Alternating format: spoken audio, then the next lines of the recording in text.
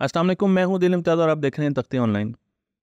आज हम अपने चैनल पर एक नई सीरीज़ शुरू कर रहे हैं और वो सीरीज़ होगी जेम्स वेब टेलीस्कोप के बारे में।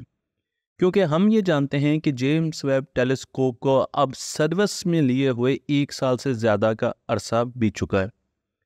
इस अरसे में जेम्स वेब टेलीस्कोप ने सोलर सिस्टम में और सोलर सिस्टम के बाहर बहुत सी चीज़ों को ऑब्ज़र्व किया बहुत सी साइंटिफिक स्टडीज़ हुई हैं। रिसर्च हुई है, हमारे कॉन्सेप्ट चेंज हुए हैं। तो हम एक अहाता करने जा रहे हैं एक सीरीज़ में वीडियो सीरीज़ में, जिसमें हम ना सिर्फ़ ये देखेंगे कि जेम्स वेब टेलीस्कोप ने सोलर सिस्टम में क्या दरियाफ्तें की, क्या चीज़ें देखी, बल्कि हम ये भी देखेंगे कि जेम्स वेब टेलीस्कोप ने हमारे सोलर सिस्टम के बियॉन्ड हमारे सोलर सिस्टम से हट कर क्या देखा। तो पहले हम अपने सोलर सिस्टम को डिस्कवर करेंगे जेम्स वेब टेलीस्कोप की नज़र से, जो कि 2021 दिसंबर को लॉन्च की गई थी और इसको सर्विस में लेते लेते जुलाई 2022 आ चुका था। और उसके बाद हम अपने सोलर सिस्टम से बाहर निकलेंगे। मैं आपको ये बताता चलूँ कि जेम्स वेब टेलीस्कोप इस वक्त इंसानियत की सबसे बड़ी टेलीस्कोप है, जो कि इस वक्त खला में काम कर रही है। अगर आप इसके प्राइमरी मिरर को देखें तो ये छः शरिया पाँच मीटर का है। अट्ठारह हेक्सागोनल बिल्कुल ऐसे जैसे मक्खियों का छत्ता होता है, शायद की मक्खियों का। अट्ठारह हेक्सागोनल मिरर्स आपको यहाँ पर नज़र आते हैं, जो कि इकट्ठे किए गए हैं और ये मिरर्स ब्रिलियम से बनाए गए हैं और इन पर गोल्ड प्लेटिंग की गई है। मैंने जेम्स वेब टेलीस्कोप की कंस्ट्रक्शन के बारे में डिटेल्ड वीडियोस बनाई हैं। आप अगर ज़्यादा डिटेल जाना चाहते हैं तो आप उन वीडियोस में जाकर देख सकते हैं। मैं आपको ये भी बता दूँ कि जेम्स वेब टेलीस्कोप के पास मेजर दो मिरर हैं, एक प्राइमरी मिरर है, जो कि मैंने आपको बताया कि हेक्सागोनल है, और उसके बाद सेकेंडरी मिरर है, जो कि प्राइमरी मिरर्स के, जो अठारह मिरर्स हैं, उनके बिल्कुल अपोजिट लगा हुआ है, छोटा सा मिरर है। और नीचे अगर आप देखें तो आपको यहाँ पर एक शीट नज़र आएगी, जिसके पाँच हिस्से हैं।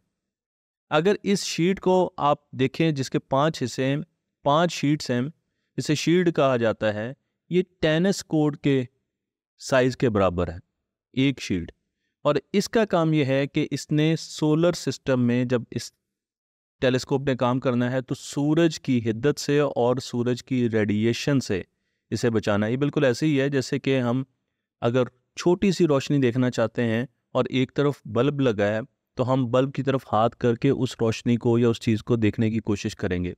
तो अगर सूरज इतना ज़्यादा रोशन है तो उसकी रोशनी में, उसकी रेडिएशन में हम दूसरी चीज़ों को ऑब्ज़र्व नहीं कर सकेंगे, इसलिए ये शील्ड लगाई गई ताकि इसका रुख, इस शील्ड का रुख ऐसा हो कि ये सूरज को ब्लॉक करे और फिर हम दूसरी तरफ़ कायनात को देख सकें। जेम्स वेब टेलीस्कोप आज का ख्याल नहीं है, बल्कि ये ख्याल कंसीव किया गया 1989 में। उस वक्त इसका नाम रखा गया था next generation space telescope NGST दो साइंसदान इसके पीछे थे, ये जो आइडिया था दो साइंसदानों का था, उसमें पेरे पेली और पीटर स्टॉकमैन हैं। मैं आपको यहाँ पर उनकी हैंड ड्राइंग्स भी दिखा रहा हूँ, जो कि उन्होंने बनाई इसके डिज़ाइन के बारे में। तो आपको यहाँ पर भी शील्ड नज़र आ रही है। इसमें चार मेजर इंस्ट्रूमेंट्स लगे हुए हैं। उन मेजर इंस्ट्रूमेंट्स को हम आहिस्ता आहिस्ता आगे जाकर देखेंगे।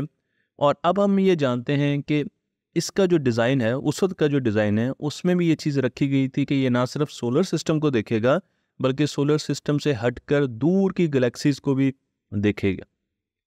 इस प्रोजेक्ट में तीन एजेंसीज ने, स्पेस एजेंसीज ने बहुत ज़्यादा कलेब्रेशन की। इसमें नासा, अमेरिका की space agency, ESA, European space agency और फिर कैनेडियन स्पेस एजेंसी। तो इनका एक कंबाइन कलेबरेटिव ये मिशन था कि हमने इस किस्म की टेलीस्कोप को लॉन्च करना है। मैं आपको यहाँ पर जेम्स वेब टेलीस्कोप और हब्बल का थोड़ा सा कंपैरिजन बताना चाहता हूँ, क्योंकि कुछ कन्फ्यूज़न ये है कि शायद जेम्स वेब टेलीस्कोप सक्सेसर है हब्बल की, यानी हब्बल को रिप्लेस करने आई है। लेकिन हब्बल टेलीस्कोप 1990 में लॉन्च की गई थी और जेम्स वेब टेलीस्कोप इसको रिप्लेस करने के लिए नहीं है, बल्कि इसका डोमेन अलग है और जेम्स वेब टेलीस्कोप का डोमेन बिल्कुल अलग है। अगर आप जेम्स वेब टेलीस्कोप में देखें तो इसका जो प्राइमरी मिरर है वो तकरीबन 21 फीट 21 फीट का और अगर आप हब्बल टेलीस्कोप देखें तो इसका जो गोल डिस्क लाइक मिरर है प्राइमरी मिरर है वो भी इसका, वो तकरीबन आठ फिट का हम ये जानते हैं कि जेम्स वेब टेलीस्कोप पचहत्तर गुना ज़्यादा रोशनी इकट्ठी करती है अपने प्राइमरी मिरर से। तो अगर ये पचहत्तर गुना ज़्यादा रोशनी इकट्ठी करती है तो आपको ज़्यादा क्लियर इमेजेस नज़र आएँगे। इसके साथ साथ एक तो साइज़ में फ़र्क है, उसके साथ साथ स्पेक्ट्रम में भी फ़र्क है। जेम्स वेब टेलीस्कोप और हबल टेलीस्कोप इनकी आँखों में अलग अलग इनकी आँखों पर एनकें लगी हुई हैं। अगर आप हबल टेलीस्कोप की बात करें तो वो विजिबल लाइट में देखती हैं। मैं आपको यहाँ पर हबल टेलीस्कोप का स्पेक्ट्रम भी दिखा रहा हूँ तो आप देखें कि ज़्यादातर हबल टेलीस्कोप के जो इमेजेस हैं, वो आपको विजिबल लाइट में नज़र आएँगे। लेकिन James Webb telescope infrared spectrum में बहुत ज़्यादा उन रेडिएशंस को ऑब्ज़र्व करेगी। तो ये एक बहुत बड़ा मेजर फ़र्क है। ये एक दूसरे को फ़ायदा दे सकते हैं, इनसे हमें मुख्तलिफ़ इन्फॉर्मेशन मिल सकती है, लेकिन ये एक दूसरे का मुतबादल साबित नहीं हो सकती। तो एक ही नेबुला के या एक ही इंटरस्टेलर क्लाउड के जब आप इमेजेस देखेंगे जेम्स वेब टेलीस्कोप से और हब्बल से तो आपको मुख्तलिफ़ इन्फॉर्मेशन मिलेगी। मसलन, इस इमेज को देखते हैं, जो कि एक इंटरस्टेलर क्लाउड है, जहाँ पर बहुत से सोलर सिस्टम भी बन रहे हैं। और अगर आप हब्बल का इमेज देखें तो यहाँ पर आपको बैकग्राउंड के बारे में इंफॉर्मेशन नहीं मिलती। जो डस्ट क्लाउड्स हैं, जो गैस के और डस्ट के क्लाउड्स हैं, उनके पीछे जो सितारे हैं, जो खला है, उसके बारे में बहुत ज़्यादा इन्फॉर्मेशन नहीं मिल रही। लेकिन जब आप जेम्स वेब टेलीस्कोप में या उसकी मदद से इंफ्रारेड स्पेक्ट्रम को हम मुआयना करते हैं। याद रखिए कि हबल टेलीस्कोप में हम विजिबल लाइट में देख रहे हैं। तो विजिबल लाइट में हम डस्ट के पीछे नहीं देख सकते लेकिन जब हम इंफ्रारेड में आते हैं तो यहाँ पर हम डस्ट के पीछे देख सकते हैं। आप देख लें कि डस्ट हल्की होती जा रही है और हम इससे पीछे जो स्टार्स हैं, उनको भी बड़े अच्छे तरीके से देख सकते हैं मॉनिटर कर सकते हैं। तो ये एक छोटा सा कंपैरिजन है, जिससे आपको पता चलेगा कि इनमें कितना ज़्यादा फ़र्क है। हबल टेलीस्कोप जब स्पेस में देखती है तो वो बहुत माजी में, बहुत दूर तक देख सकती है।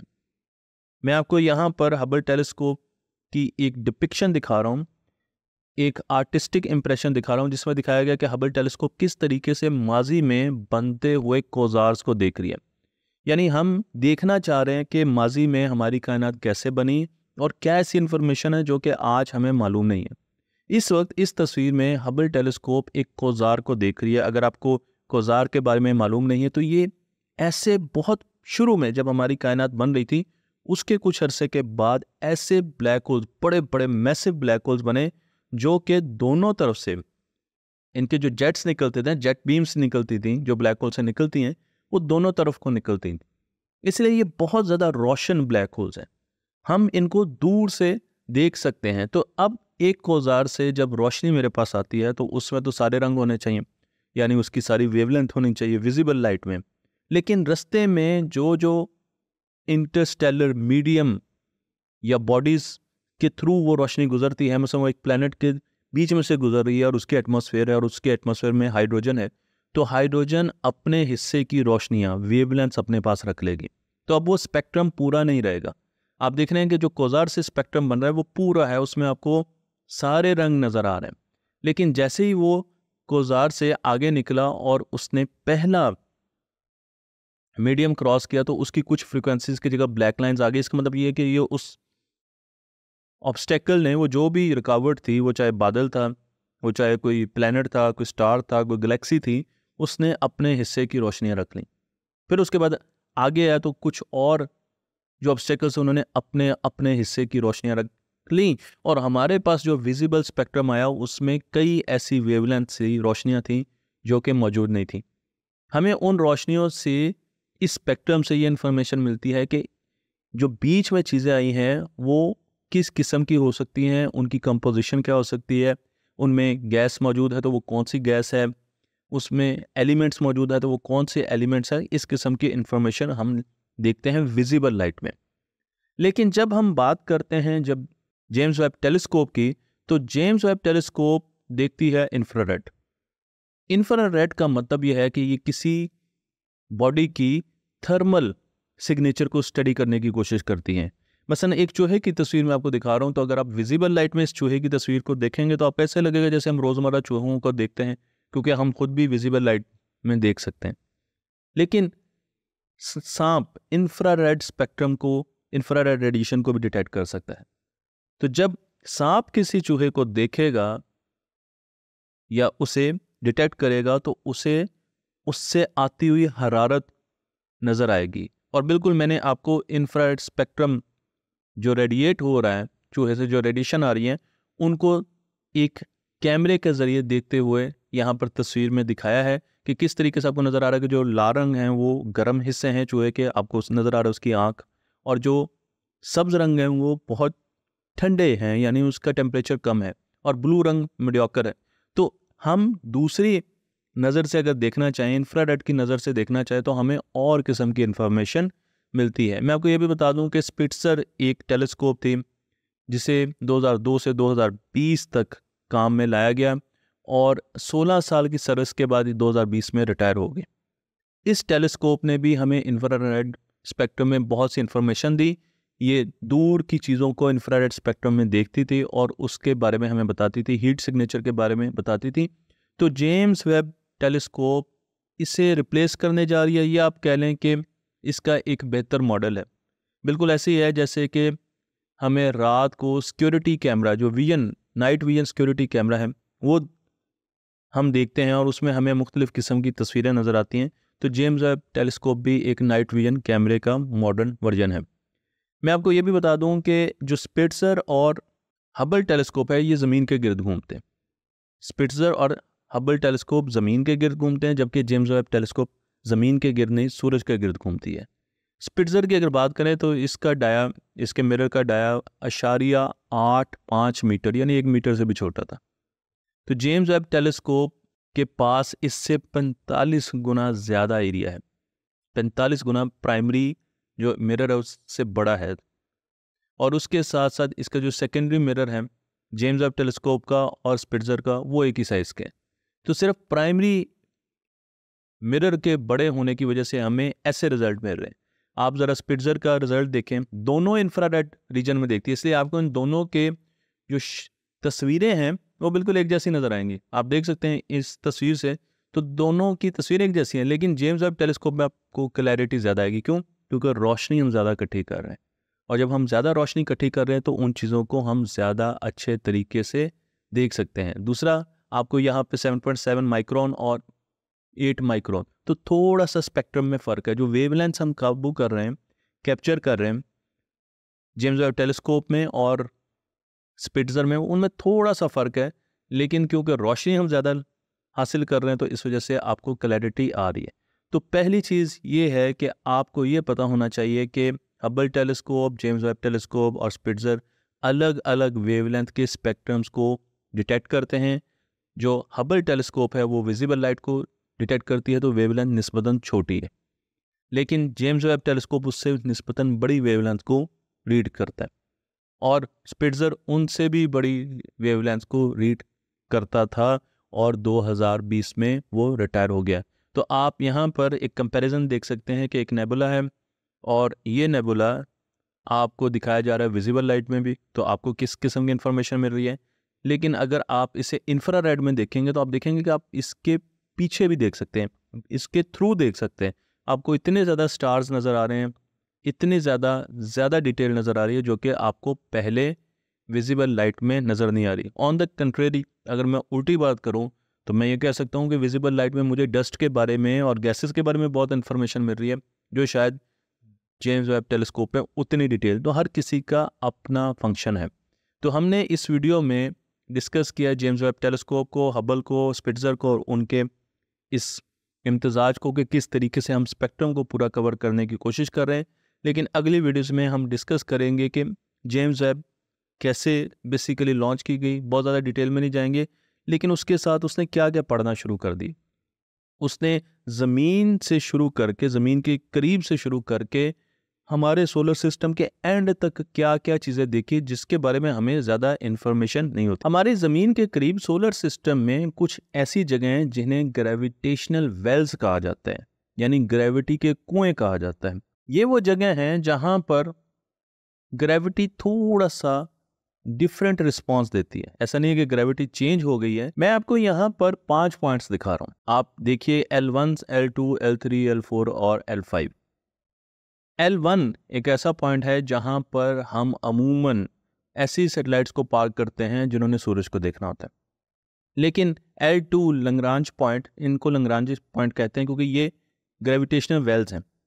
ये पार्किंग एरियाज़ हैं। यहाँ पर आप कोई चीज़ छोड़ेंगे तो वो सूरज के रिस्पेक्टिव मूव करेगी, वो ज़मीन की तरफ़ नहीं आएगी। वरना हमारा तो ये ख्याल है कि अगर इन पॉइंट्स पे हम कुछ चीज़ छोड़ें तो वो ज़मीन की तरफ़ आना शुरू हो जाएँगे। ऐसा नहीं, वो इसी तरीके से ही मूव करेंगे। लेकिन जब मैं पॉइंट टू की बात करता हूँ, एल टू की बात करता हूँ, लंग्रांजिस पॉइंट एल टू की बात करता हूँ तो यहाँ पर हमने जेम्स वेब टेलीस्कोप को पार्क किया। हबल और स्पिट्जर ज़मीन के गिर्द घूमते, लेकिन जेम्स वेब टेलीस्कोप ज़मीन के गिर्द नहीं घूमते। बल्कि ये सूरज के गिर्द घूमती हैं। ऐसा नहीं है कि ये बिल्कुल एक जगह पार्क है, बल्कि अगर आप ज़मीन के रिलेटेड रेफरेंस के साथ इसे देखें तो ये सर्कल में मूव कर रही है। लेकिन साथ साथ ये सूरज ज़मीन और ये सूरज के गिर्द घूम रहे हैं। तो ये बिल्कुल इस तरीके से मूव करती है और इस जगह पर इसको रखने की वजह ये थी कि हमने इसको सूरज से बचाना है। मैंने आपको पहले बताया कि हमने एक शील्ड लगाई हुई है, बैरियर लगाया हुआ है जो कि सूरज की रेडिएशन से, रोशनी से इसे बचाता है। तो हम ये चाहते हैं कि इसको ऐसे लंगराजिस पॉइंट पर रखें जो कि सूरज से बहुत ज़्यादा दूर हो। वहाँ पर सूरज की रोशनी का और रेडिएशन का इफ़ेक्ट कम से कम हो। इसीलिए हमने इसको एल टू पॉइंट पर रखा है। तो ये वो चार पाँच पॉइंट हैं हमारे सोलर सिस्टम में जहाँ पर हम सेटेलाइट्स को और स्पेसक्राफ्ट को रेस्ट या पार्क कर सकते हैं। मैं आपको यहाँ पर दोबारा इसका ऑर्बिट दिखा रहा हूँ तो आप देख सकते हैं कि ये ऑर्बिट करती है ज़मीन के गिर्द नहीं, लेकिन ज़मीन के रेफरेंस के साथ यह ऑर्बिट कर रही है। जब रोशनी दूर से आकर जेम्स वेब टेलीस्कोप के प्राइमरी 18 हेक्सागोनल मिरर से टकराती है तो हमें उनको एडजस्ट करना पड़ता है। क्योंकि एक मिरर तो है नहीं, जिस तरीके से हबल के पास एक मिरर है तो हम उसे एडजस्ट करें। हमें इन 18 मिरर्स को इनकी सेगमेंट एडजस्टमेंट करनी पड़ती है। ताकि ये सारे एक इमेज के तौर पर, एक मिरर के तौर पर काम करें और जो रोशनी दूर किसी गैलेक्सी से आ रही है, उसे रिफ्लेक्ट बैक करें इस पर जी सेकेंडरी मिरर पर। तो इसलिए इसकी कैलिब्रेशन बहुत ज़्यादा ज़रूरी है और जब जेम्स वेब टेलीस्कोप को खला में भेजा गया तो उसके कुछ अर्से के बाद इन तमाम मिरर्स की कैलिब्रेशन की गई और उसके ज़रिए हमें एक इन्हांस्ड वर्जन मिला। तो जो सेकेंडरी मिरर है, उस पर जो इमेज आता है, उसके बाद उसे प्रोसेस किया जाता है, उसके लिए डिफरेंट किस्म के इंस्ट्रूमेंट लगे हैं और फिर जो डेटा हमारे पास आता है, उसे ज़मीन पर मुंतकिल कर दिया जाता है एक नेटवर्क के ज़रिए, जिसे हम डीप स्पेस नेटवर्क कहते हैं। तो अब फ़र्ज़ कीजिए कि एक दूर की गलेक्सी को जेम्स वेब टेलीस्कोप देख रही है तो वहाँ से जो रोशनी आ रही है, वो प्राइमरी 18 हेक्सागोनल मिनट्स पर पड़ती है, जो कि उसको रिफ्लेक्ट बैक करते हैं। एक सेकेंडरी मिरर पर और उस सेकेंडरी मिरर से होती हुई वो प्रोसेस की जाती है, उसे डाटा में कन्वर्ट किया जाता है और फिर उसे भेजा जाता है, ज़मीन पर मौजूद डिश एंटीना उसे रिसीव करते हैं, जो कि एक बड़े नेटवर्क का हिस्सा जिसे डीएसएन या डीप स्पेस नेटवर्क कहा जाता है। डीप स्पेस नेटवर्क प्लस तख्ती लिखेंगे तो पूरी डिटेल मैं पहले ही वीडियोस में बता चुका हूँ। तीन मुख्तलिफ़ स्पेक्ट्रम्स का या बैंड्स का इस्तेमाल हम कर रहे हैं डेटा को। भेजने के लिए और रिसीव करने के लिए। पहला है जी अपलिंक तो हमने जो इससे डेटा अपलोड करना है जेम्स वेब टेलीस्कोप को अपलिंक करना है, वो एस बैंड में 16 किलोबिट्स पर सेकंड पर जाता है और उसमें कमांडिंग यानी कमांड्स वगैरह दी जाती हैं। उसके बाद हमारे पास दूसरा स्पेक्ट्रम है एस बैंड में डाउनलिंक का, जो कि 40 किलो बिट्स पर सेकेंड है और वो रेंजिंग के लिए इस्तेमाल होता है। तीसरा जो बैंड है, वो हमारे पास के ए बैंड है जो कि 28 मेगाबिट्स पर सेकंड, ये ज़रा ज़्यादा इसमें डेटा की रफ्तार है। 28 मेगाबिट्स पर सेकंड से डेटा एक्सचेंज करता है और इसमें जो डेटा आता है वो साइंस से रिलेटेड, टेलीमीट्री से रिलेटेड, ये सारा का सारा डेटा जो एक्चुअली हम वहाँ से डेटा हासिल कर रहे हैं, जिसमें जो उसके ऑब्जर्वेशन हैं, वो डाटा का सारा का सारा के बैंड में आ रहा तो यही चीज़ मैं आपको दिखा रहा हूँ। तो अब जब डीप स्पेस नेटवर्क ने ये डाटा रिसीव कर लिया तो अब इन इमेजेस को या इस डाटा को हमने रिफाइन करना है। इसकी हमने एडिटिंग करनी है, हमने इसको स्टॉक करना है और इसको बड़े अच्छे तरीके से लोगों के सामने पेश करना है। तो उसकी रिफाइनिंग के लिए, उसकी प्रोसेसिंग के लिए वो डाटा जो एक इशारे पाँच मिलियन किलोमीटर दूर से हमारे पास है हम उसे डाइवर्ट करते हैं space telescope science institute Baltimore में, जिसकी बिल्डिंग की तस्वीर मैं आपको यहाँ पर दिखा रहा हूँ। यहाँ पर एक पूरी टीम बैठी हुई है जो कि इस डेटा को लेती है और फिर मुख्तलिफ़ सॉफ्टवेयर के ज़रिए अच्छे अच्छे इमेजेस बनाकर हमें वो इमेजेस देती है जो कि हमें जेम्स वेब टेलीस्कोप की ऑफिशियल वेबसाइट पर और नासा की वेबसाइट पर नज़र आते हैं। लेकिन याद रखने की बात यह है कि ये सारा काम उस वक्त हो सकता है जब जेम्स वेब टेलीस्कोप की इंस्ट्रूमेंटेशन प्रॉपर तरीके से काम करे। तो चार major instrument James Webb telescope पर लगे हुए हैं, जिनमें नियर इंफ्रारेड स्पेक्ट्रोमीटर है। नियर इंफ्रारेड इसलिए कि ये इंफ्रारेड के बैंड के बिल्कुल आसपास है, अगर आप उसको देखें। फिर हमारे पास नियर इंफ्रारेड आईएसएस यानी स्लिटलेस स्पेक्ट्रोग्राफ है। फिर near infrared I N I R cam है। बहुत सी तस्वीरें इसे खींची जाएँगी, आप फ्यूचर में भी देखेंगे। इसी वीडियो सीरीज़ में आपको नज़र आएगा। और फिर मिड इंफ्रारेड अब हम इंफ्रारेड नियर इंफ्रारेड से मिड इंफ्रारेड में बीच में चले गए। इस रेंज में जो रेडिएशन आ रही है उसको भी कैप्चर करने के लिए हमारे पास मेरी इंस्ट्रूमेंट्स मौजूद हैं। तो कैमरा जो है वो एस्ट्रोनॉमिकल ऑब्जेक्ट्स की तस्वीरें लेते हैं। स्पेक्ट्रोग्राफ का काम ये होता है कि जो रोशनी आ रही है उसमें देखें कि रोशनी को रंगों में तकसीम करके देखें कि कौन कौन से रंग हमारे पास नहीं हैं और उनसे हम अंदाज़ा लगाने की कोशिश करते हैं कि किस किस्म की केमिकल कंपोजिशन है क्या चीज़ें बीच में आएँ और क्रोनोग्राफ क्या कर, करते हैं, जब हमने सूरज की तरफ़ के करीब से गुजरते हुए एक जहाज़ को देखना है तो हम क्या करते हैं, हम सूरज को ब्लॉक करते हैं, ताकि वो जहाज़ हमें नज़र आए। बिल्कुल इसी तरीके से जब हमने दूर किसी रोशन चीज़ के पास, स्टार के पास एक प्लानट को देखना है तो हम पहले उस स्टार को ब्लॉक करते हैं, उसके लिए क्रोनोग्राफ यूज़ होता है, और फिर हम उस प्लानट को या ऐसी चीज़ को ऑब्ज़र्व करते हैं, जिसकी रोशनी नहीं। तो ये चार किस्म के मेजर इंस्ट्रूमेंट हैं छः मुख्तलिफ़ किस्म के स्पेक्ट्रोस्कोपी मोड हैं इसके पास। वो सारे के सारे छः स्पेक्ट्रोस्कोपी के मोड मैं आपको यहाँ पर दिखा रहा हूँ। इनको मैं आसानी के साथ डिस्कस करूँगा, मैं ज़्यादा डिटेल में इनके नहीं जाऊँगा, लेकिन मैं आपको यहाँ पे बता दूँ कि जो मेन इन सब का प्रिंसिपल वो यही है कि रोशनी को उसके रंगों में तकसीम करें और उनके कलर्स को देखते हुए और जो अवेलेबल कलर्स हैं उनको देखते हुए हम अंदाज़ा लगाएँ कि रोशनी के साथ क्या हुआ, रास्ते में रोशनी को कहाँ कहाँ ट्रैप किया गया और रोशनियाँ किसने चोरी की? मैं आपको यहाँ पर एक तस्वीर दिखा रहा हूँ, जो कि एक नेबुला की है, और ये बड़ा मशहूर नेबुला है। मुझे उम्मीद है कि आपको इसका नाम आता होगा। इस नेबुला में अगर आप तस्वीर में देखें तो आपको नज़र आ रहा है कि हमने मेरी का इस्तेमाल किया और एन आई आर कैम का इस्तेमाल किया। और उसके साथ आपको ग्राफ नज़र आ रहा है कि जो कि हमें बताता है, और ये ग्राफ आपको हर जगह नज़र आएगा। जितने भी आगे आप देखेंगे तो इस ग्राफ के जो वर्टिकल एक्सेस उसमें ब्राइटनेस होगी। रोशनी कितनी आ रही है? ठीक है, और इधर होगी वेवलेंथ तो वेवलेंथ अब जो वेवलेंथ नहीं होगी, वो आपको या तो नीचे की तरफ़ नज़र आएगी, और अगर इन्वर्स ग्राफ है तो वो आपको ऊपर की तरफ़ नज़र आएगी। जहाँ पर भी आपको फ़र्क नज़र आए, इसका मतलब ये है कि ये जो वेवलेंथ है, ये हमारे पास नहीं है। तो इससे हम अंदाज़ा लगाते हैं, ऐसी तस्वीरें खींच के कि इस जो नेबुला है, इसकी कंपोजिशन क्या है? और हम ये भी अंदाज़ा लगाते हैं कि जो बीच में चीज़ें आई हैं, उसने इसके साथ क्या किया? मैं आपको यहाँ पर एक और नेबुला की तस्वीर दिखा रहा हूँ, जो कि ईगल नेबुला है।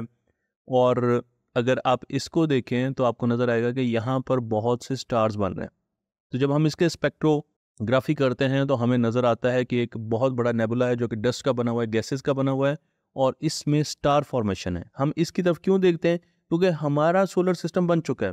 हम इसके माजी में नहीं देख सकते डायरेक्टली लेकिन हम कायनात में सोलर सिस्टम्स को बनते हुए देख सकते हैं और देख सकते हैं अच्छा वहाँ पे ये सोलर सिस्टम ऐसे बन रहा है और ये हमारे सोलर सिस्टम से मिलता जुलता है तो हमारा सोलर सिस्टम भी ऐसे ही, उसकी इरतका भी ऐसे हुई होगी, वो भी ऐसे ही बना होगा इवॉल्व किया होगा तो उनको पढ़ के हमें अंदाज़ा होता है कि हमारे सोलर सिस्टम ने कैसे काम किया होगा। मैं आपको यहाँ पर एक और स्पेक्ट्रोग्राफ दिखा रहा हूँ। तो आप देख सकते हैं कि इसके ज़रिए हम एक प्लानट जिसका नाम है W S P thirty nine B exoplanet है, यानी किसी और सितारे के गिर्द घूम रहा है। जॉइंट बड़ा एक्जो प्लानट है। उसका जब हमने स्पेक्ट्रोस्कोपी की तो हमें ये ग्राफ मिला और इस ग्राफ में आप देख सकते हैं कलर के साथ आपको बताया गया कि इसमें नज़र आ रहा है कि पीक हमें सोडियम पे मिलती है, हमें वाटर पे मिलती है, हमें कार्बन मोनोऑक्साइड के स्पेक्ट्रम पे मिलती है। तो वो जो इसने रखी ना अपने पास वेवलेंथ उन वेवलेंथ का हमें पता है कि कार्बन मोनोऑक्साइड एक खास किस्म की वेवलेंथ रखती है। तो जब वो वेवलेंथ नहीं होगी, हमें पता लग जाएगा कार्बन मोनोऑक्साइड है इधर। सल्फ़र डाइऑक्साइड एक खास किस्म की वेवलेंथ रखता है। वो वेवलेंथ नहीं होगी, हमारे पास जो रोशनी आई, हमें पता लग जाएगा कि चोर क्या है। जो चोर है, उसने सल्फ़र डाइऑक्साइड तो अब इस प्लेनेट के पीछे एक सूरज था। सूरज से रोशनी आ रही थी, उसमें सारी रेडिएशन थी। लेकिन जैसे वो इस प्लेनेट के एटमॉस्फेयर में दाखिल हुई कुछ जो एटमॉस्फेयर में एलिमेंट्स थे, जिस तरीके से सोडियम वाटर कार्बन मोनोऑक्साइड ये, उन्होंने अपनी अपनी रोशनियाँ चुरा ली। तो हमारे पास जो रोशनी आई, उनमें ये रोशनी नहीं थी। तो हमें पता है कि ये जो सोलर सिस्टम है, क्योंकि हम इसकी और भी स्पेक्ट्रोग्राफी कर रहे हैं, ये जो सितारा है, इसके गिर्द ये प्लानट घूम रहा है और इससे आने वाली, इसके करीब से आने वाली रोशनियों में हमें ये इन्फॉर्मेशन मिले तो हमें पता लग जाएगा कि इस प्लानट में किस किस्म की एटमॉस्फेयर मौजूद है और उसमें क्या क्या कंपोनेंट्स हैं? मैं आपको यहाँ पर मार्स का भी आपको स्पेक्ट्रोग्राफ दिखा रहा हूँ। तो आप मार्स के स्पेक्ट्रोग्राफ से भी देख सकते हैं कि यहाँ पर आपको नज़र आता है कि जो हमारे पास आती हैं, उसकी जो रिफ्लेक्ट होके उसे जो रेडी अगर विजिबल लाइट में है तो रिफ्लेक्ट होके आएँगी और अगर हम इंफ्रारेड में देख रहे हैं तो वो रेडिएट करेगा। वो ही सोर्स है एक्चुअली मार्स ही सोर्स है। तो यहाँ पर क्योंकि हम इंफ्रारेड में देख रहे तो अब वो सोर्स है, वो ग्लो कर रहा है, लेकिन वो जो ग्लो कर रहा है, उसमें कुछ जो रोशनियाँ हैं, वो मिसिंग है। और जब हम उन रोशनियों को देखते हैं तो पता लगता है कि कार्बन डाइऑक्साइड ये रोशनी चुरा लेती है वाटर ये रोशनी चुरा लेता है कार्बन मोनोऑक्साइड ये रोशनी चुरा लेती है। तो आपको यहाँ पर वो डिप सी नज़र आएगी, उसमें डिप सी नज़र आएगी। तो आप फ़ौरन देख लेंगे और कहेंगे, यार मार्स में कार्बन मोनोऑक्साइड है कार्बन डाइऑक्साइड है और वाटर वेपर्स भी मौजूद होंगे।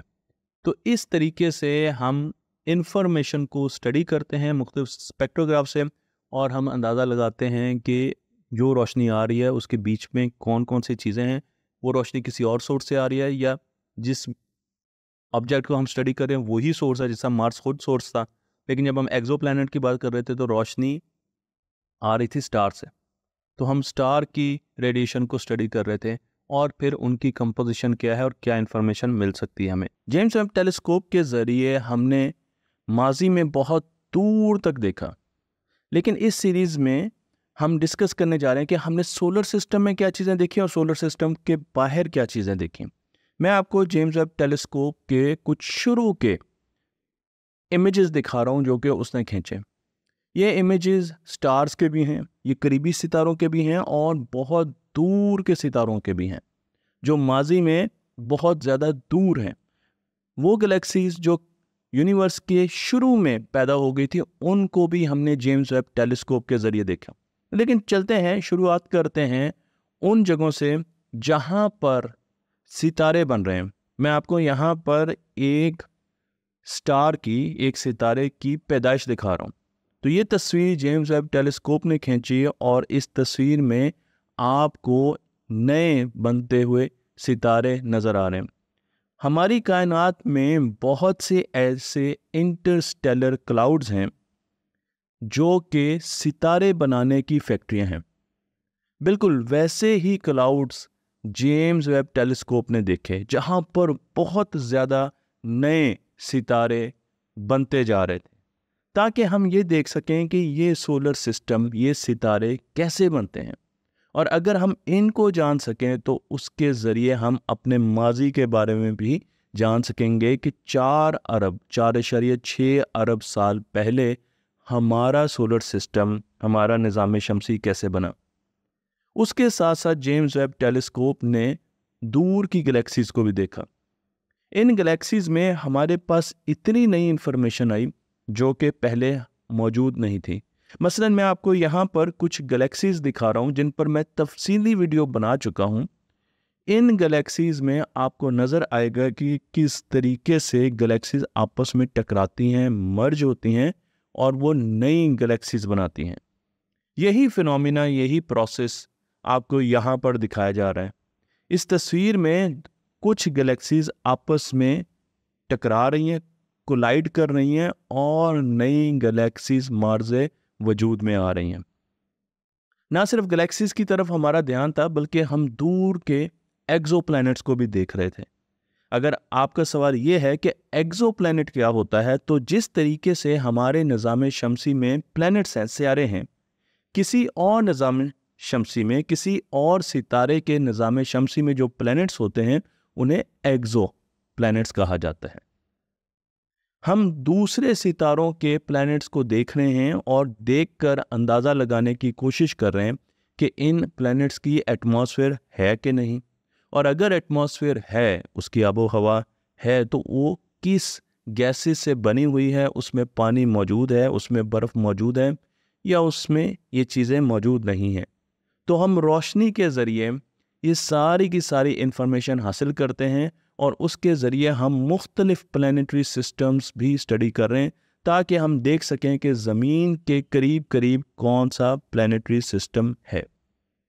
हम अभी तक सिर्फ़ सात फ़ीसद ऑब्जर्वेशंस ले चुके हैं सोलर सिस्टम के। तो अगर हमने सौ फ़ीसद ऑब्जर्वेशंस ली हैं जेम्स वेब टेलीस्कोप से तो उसमें से सिर्फ़ सात फ़ीसद ऑब्जर्वेशन हमारे अपने निज़ाम शमसी से ली गई हैं। इन ऑब्ज़रवेशन में, इन मुशाहदात में हमने प्लैनेट्स को देखा है, सियारों को देखा है, हमने सियारचों को देखा है, छोटे प्लैनेट्स को देखा है, हमने कॉमेट्स को देखा है, हमने एस्ट्रॉयड्स को देखा है, हमने अपने सोलर सिस्टम के बियॉन्ड दूर गैलेक्सीज को देखा है ब्लैक होल्स को देखा है, फटते हुए सितारों को देखा है।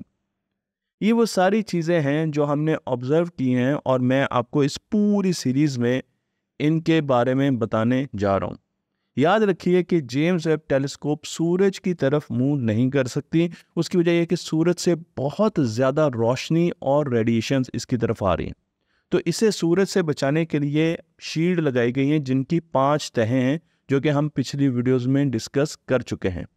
इसने सूरज से दूसरी तरफ़ को देखना है इसने मार्स की तरफ़ देखना है, इसने सैटन की तरफ़ देखना है, यूरेनस की तरफ़ देखना है और फिर उससे परे, यानी हम अपने सोलर सिस्टम से बाहर निकल रहे हैं, हमने बाहर की चीज़ों को देखना है। लेकिन कभी भी ये सूरज की तरफ़ नहीं देखेगी। मैं आपको ये भी बताता चलूँ कि सोलर सिस्टम के प्लैनेट्स को और सेलेस्टियल बॉडीज़ को ऑब्ज़र्व करना, उनका मुशाह करना बड़ा मुश्किल है। बाहर की चीज़ों का मुशाह करना सोलर सिस्टम से आसान है। उसकी वजह यह है कि जो चीज़ आपके करीब है, सोलर सिस्टम के प्लैनेट्स इस टेलीस्कोप से करीब हैं, एक तो वो बहुत तेज़ी से मूव करते हुए नज़र आते हैं। तो वो अपने ऑर्बिट में जब घूम रहे हैं, इस टेलीस्कोप को वो बहुत तेज़ी से मूव करते हुए नज़र आते हैं तो उसको ट्रैक करना इसके लिए मुश्किल है। दूर की चीज़ें नस्बता स्टेशनरी होती हैं, साकिन होती हैं, स्टेबल होती हैं, उन्हें ट्रैक करना आसान है। जो ऐसे ही है कि गाड़ी बहुत दूर है आपसे और जा रही है और एक गाड़ी बहुत करीब से, उतनी स्पीड से जा रही है तो आप करीब की गाड़ी को ज़्यादा तेज़ ऐसे करके देखेंगे। जबकि दूर की गाड़ी के लिए आपको ग्लास अपनी आँखों को बहुत ज़्यादा मूव नहीं करना पड़ेगा, अपने सर को भी नहीं मूव करना पड़ेगा। इसके साथ साथ एक और मसला भी है और वो मसला ये है कि जो करीब की चीज़ें हैं, सूरज की रोशनी जब उन पर पड़ती है मार्स की बात कर लेते हैं, दूसरे शहरों की बात कर लेते हैं तो वो रिफ्लेक्ट करते हैं। और वो रिफ्लेक्ट करते हैं तो वो रोशनी सारी की सारी जेम्स वेब टेलीस्कोप के पास आती है, उसका बड़ा हिस्सा आता है। तो हमें वो बहुत ब्राइट लगते हैं बहुत रोशन लगते हैं। आप चाँद को देख लीजिए। चाँद को जब आप चौदहवीं के चाँद को टेलीस्कोप से देखने की कोशिश करें प्रैक्टिकली तो आपको अंदाज़ा होगा कि चौदहवीं के चाँद की रोशनी जो वो रिफ्लेक्ट करता है, वो बहुत ज़्यादा होती है, इसलिए उसे कैप्चर करने के लिए आपको कुछ पैरामीटर्स चेंज करने पड़ते हैं। नॉर्मल डेज़ में जब चाँद क्रेसेंट होता है, ये चाँद आधा होता है तो आप बड़े आराम से उसे कैप्चर कर सकते हैं। तो जो करीब की चीज़ें हैं, वो बहुत ज़्यादा रोशन होती हैं। सोलर सिस्टम में प्लैनेट्स बहुत ज़्यादा रोशन होते हैं, इसलिए उन्हें कैप्चर करना, उन्हें देखना, उनसे डाटा लेना नस्बता मुश्किल है। उस सितारे के, जो कि बहुत दूर हैं, हमसे हज़ारों लाइट ईयर्स दूर है, उसे देखना हमारे लिए नस्बता आसान है, क्योंकि वो डेम है। वो बहुत ज़्यादा ब्राइट नहीं है और वो आराम से मूव कर रहा है। तो ये एक तकनीकी चीज़ थी। हमने दो किस्म के ग्रुप्स बनाए सोलर सिस्टम में कि हमने इन दो ग्रुप्स का मुशाह करना। तो पहला जो ग्रुप है, उसमें मेजर प्लैनेट्स हैं। जितने भी प्लैनेट्स हैं, वो सारे के सारे उसके अंदर आ रहे हैं। और उसके साथ उन प्लैनेट्स के जो मून हैं, जितने भी चाँद हैं प्लैनेट्स के गिर्द घूमते हुए, वो भी जो बड़े मून हैं और उसके साथ रिंग्स। तो प्लैनेट्स सारे उनके रिंग्स जिन जिन के पास हैं और उनके चाँद, ये पहला ग्रुप है। और दूसरे ग्रुप में हमने मुशाह करना है छोटी बॉडीज़ का। यानी वो बॉडीज़ जो कि एस्ट्रॉयड हो सकती हैं कॉमेट हो सकती है, छोटे प्लैनेट्स हो सकते हैं, जिन्हें डॉफ प्लैनेट्स कहा जाता है। उसके अलावा ज़मीन के गिर्द ऑब्जेक्ट्स हो सकते हैं नियर अर्थ ऑर्बिट जो कि ज़मीन को ख़तरा देते हैं। काइपर बेल्ट है और उसके साथ साथ बहुत से और ऐसी सेलेस्टियल बॉडीज़ जो कि बहुत छोटी होती हैं, उनको एक दूसरे ग्रुप में हमने डाल दिया। तो चलें जनाब, हम शुरू करते हैं और हम प्लैनेट्स की ऑब्जर्वेशन से आगे बढ़ते हैं। यहाँ पर यह बताना बड़ा ज़रूरी है कि जब हम एक्जो की बात करते हैं, हमारे सोलर सिस्टम के बाहर जो प्लैनेट्स हैं, उनकी बात करते हैं तो हम देखते हैं कि वो किस तरीके से आहिस्ता आहिस्ता बढ़ रहे हैं। हमें सैटर्न की, हमें जुपिटर की आज की शक्ल मालूम है। लेकिन माजी में क्या हुआ? चार अरब साल के करीब, साढ़े चार अरब साल में क्या हुआ, हम इसके बारे में नहीं जानते। लेकिन जब हम दूर के प्लैनेट्स को देखते हैं तो वहाँ पर हमें शायद कोई ऐसा जुपिटर नज़र आ जाए, जो कि एक अरब साल पुराना हो, क्योंकि वो ताज़ा ताज़ा सोलर सिस्टम बना हो।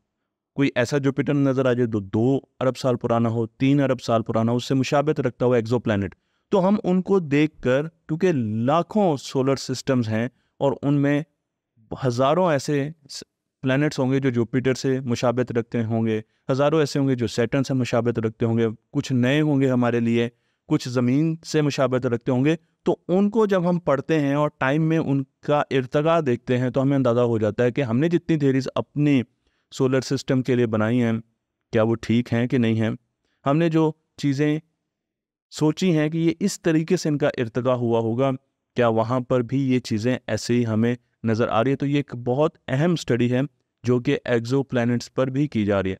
तो हमने मार्स को देखा, हमने मार्स को ट्रैक करने की कोशिश की। बहुत ज़्यादा रोशन था, बहुत तेज़ी से गुजर रहा था हमारे पास, लेकिन जेम्स वेब टेलीस्कोप ने मार्स की ऑब्जर्वेशंस ली। उसके साथ साथ हमने जेम्स वेब टेलीस्कोप से बहुत से चाँद भी देखे। मसलन आप सैटन के चाँद टाइटन की बात कर लें। यहाँ पर आपको इसके बादल तक नज़र आ रहे हैं। और हम कोशिश कर रहे हैं कि इस चाँद पर ज़िंदगी की तलाश की जा सके। हम ढूंढ सकें कि इस चाँद पर ज़िंदगी मौजूद है और अगर वो मौजूद है तो वो किस शक्ल में मौजूद है। जेम्स वेब टेलीस्कोप ने ना सिर्फ़ मुख्तलिफ़ प्लैनेट्स और सेलेस्टियल बॉडीज़ को देखा, बल्कि उसने इवेंट्स को भी मॉनिटर किया। अगर कोई इवेंट सोलर सिस्टम में हो रहा तो उसने कोशिश की कि वो उसको भी मॉनिटर कर सके और इसी किस्म का एक एक्सपेरिमेंट हमने किया हमने एक सेटेलाइट को एक बहुत बड़ी स्पेस रॉक के साथ टकराया। क्यों टकराया?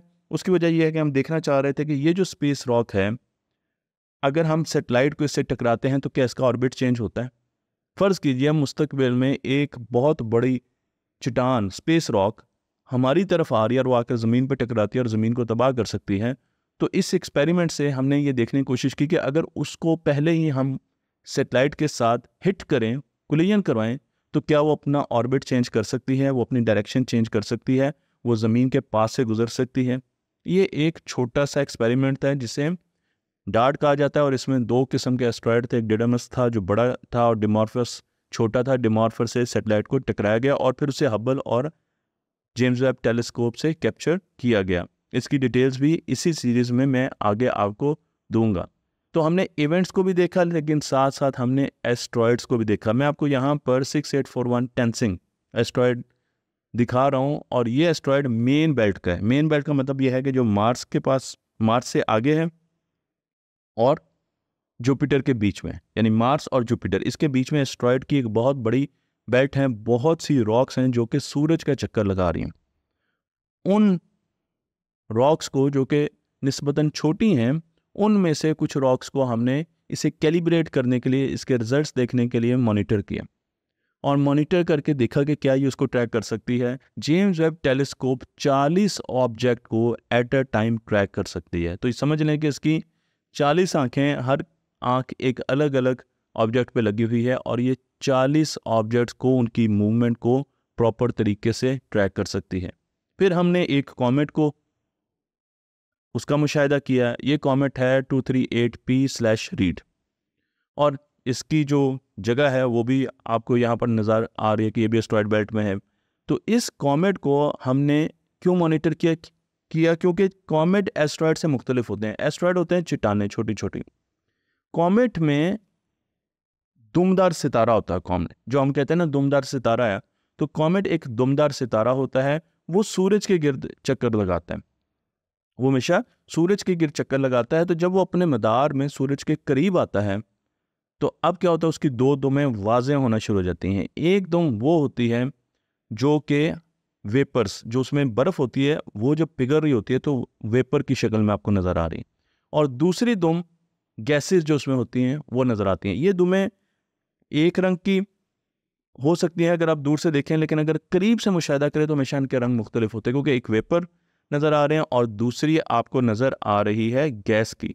तो आपको कॉमेट भी नज़र आएँगे और कॉमेट को हमने स्टडी किया और हमें ये पता चला कि वाकई इस कॉमेट में वाटर वेपर्स हैं। तो हम हमेशा से कहते रहे हैं कि कॉमेट में आइस होती है, कॉमेट में वाटर वेपर्स होते हैं, लेकिन जेम्स वेब टेलीस्कोप से प्रैक्टिकली अब हमने देखा कि हमारे सोलर सिस्टम में ऐसे कॉमेट्स मौजूद हैं, जिनमें बर्फ़ भी मौजूद है।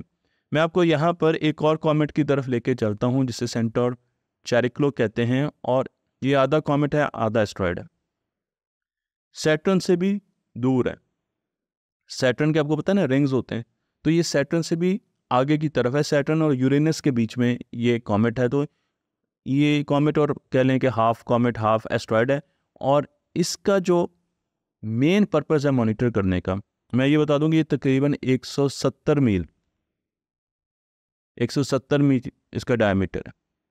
यानी अगर आप इसको देखें तो 270 किलोमीटर इसका डायमीटर है और उसके साथ साथ 2013 में ये पहली मरतबा हमने डिटेक्ट कर लिया था।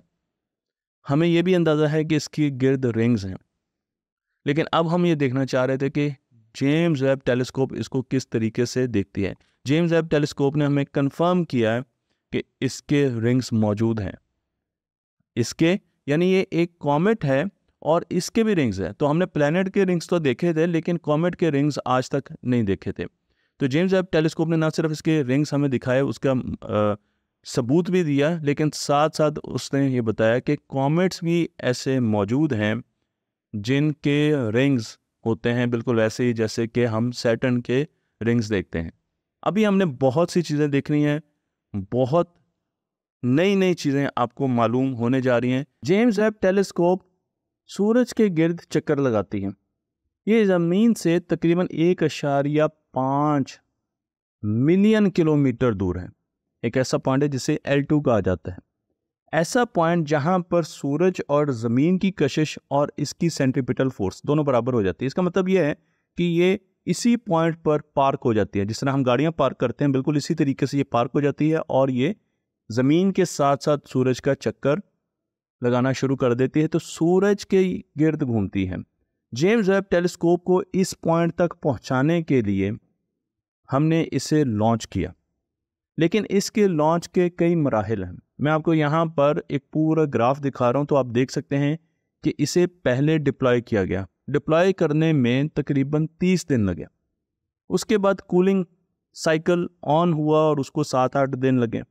फिर इस टेलीस्कोप की कमीशनिंग हुई, यानी जो मिरर्स वगैरह हैं, उनकी कमीशनिंग हुई, वो आहिस्ता आहिस्ता पूरे के पूरे काम करना शुरू हो गए, उसकी कैलिब्रेशन हुई और उसके पहले तो उसकी कमीशनिंग हुई कैलिब्रेशन बाद में हुई होगी, वो खुले, उसके साथ शील्ड खुली, ये सारी चीज़ें। तो इसमें हमें तकरीबन 80 से पचासी दिन लगे और फिर आखिर में इंस्ट्रूमेंट्स जो चार इसमें मेजर इंस्ट्रूमेंट लगे हुए हैं, उनकी भी कमीशनिंग हुई, उनकी कैलिब्रेशन हुई, उनकी टेस्टिंग हुई, उसमें साठ दिन लगे। तो पूरा का पूरा जो टाइमलाइन है, वो मैंने आपको यहाँ पर दिखाई। जब इसे ज़मीन से रॉकेट के ज़रिए स्पेस में छोड़ा गया तो आप देख सकते हैं कि किस तरीके से एक कंप्रेस्ड फॉर्म में थी। एक बिल्कुल जकड़ी हुई थी कट्ठी हुई हुई थी। आहिस्ता आहिस्ता ये खुलना शुरू हुई, इसकी शील्ड खुलना शुरू हुई, इसके मिरर्स खुलना शुरू हुए, और जैसे जैसे ये एल टू पॉइंट के करीब पहुँची तो ये पूरे के पूरे तरीके से खुल चुकी थी। इसका प्राइमरी मिरर इसका सेकेंडरी मिरर इसकी शील्ड्स वो सारी की सारी चीज़ें वहाँ पर मौजूद थी। इसके पास 20 सालों का फ्यूल है। और हमारी उम्मीद है कि ये शायद 20 सालों से भी ज़्यादा वक्त निकाल जाएगी। और डिप्लॉयमेंट के बाद इसकी कैलिब्रेशन का फ़ेज़ आ गया। मैं आपको यहाँ पर इसके मिरर्स दिखा रहा हूँ तो बिल्कुल ऐसे ही जैसे हम एक नई टीम बनाते हैं, उसमें दस लोग डाले, अठारह लोग डाले तो पहले वो अपना अपना काम करते हैं। एक दूसरे की हेल्प आउट नहीं करते। उस वक्त वो ग्रुप होता है टीम नहीं होती।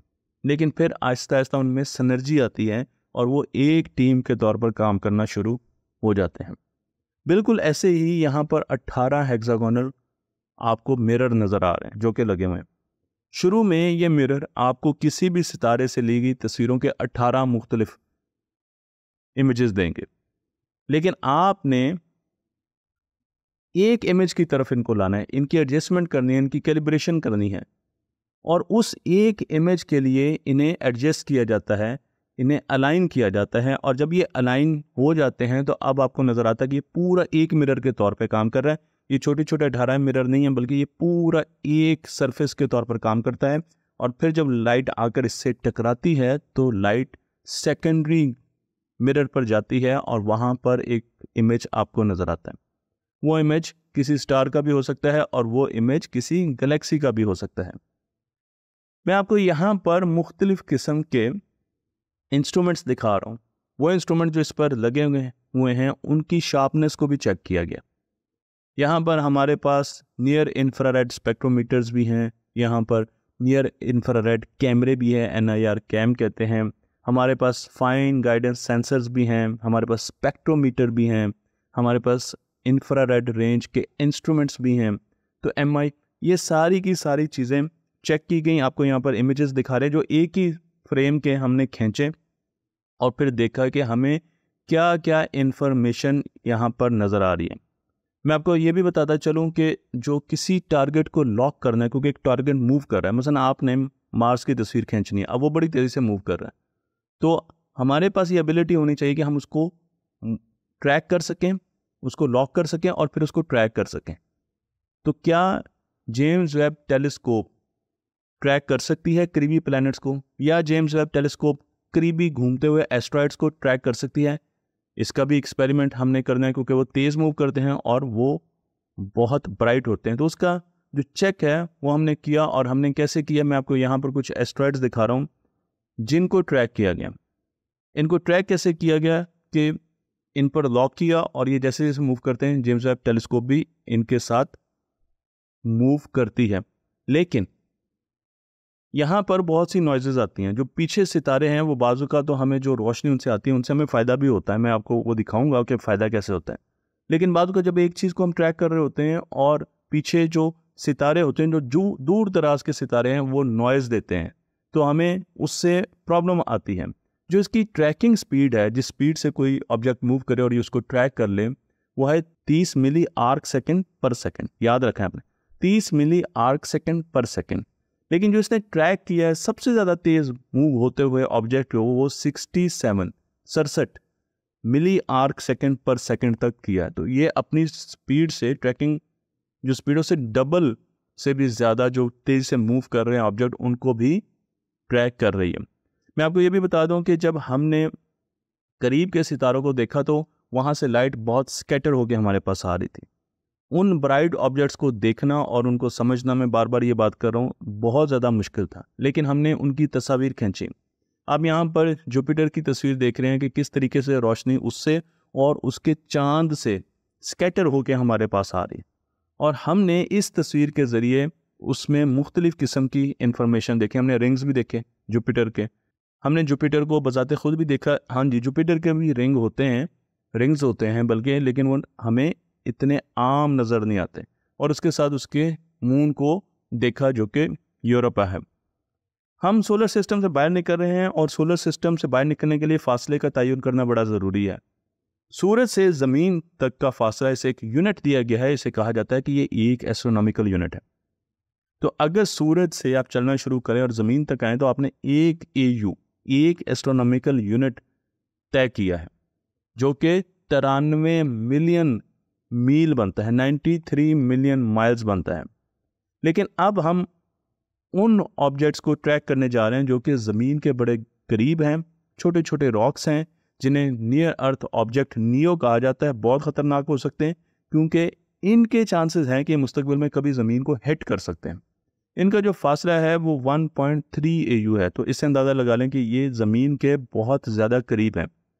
और ज़मीन की, अगर ये बहुत ज़्यादा ज़मीन के करीब आ जाते हैं तो ज़मीन की ग्रेविटी इनको अपनी तरफ़ भी ला सकती है। और इस किस्म के एस्ट्रॉयड्स पर हम मुसलसल नज़र रखे हुए हैं कि मुस्तकबिल में ऐसा कोई एस्ट्रॉयड नियो याद रखिएगा ये नियो है।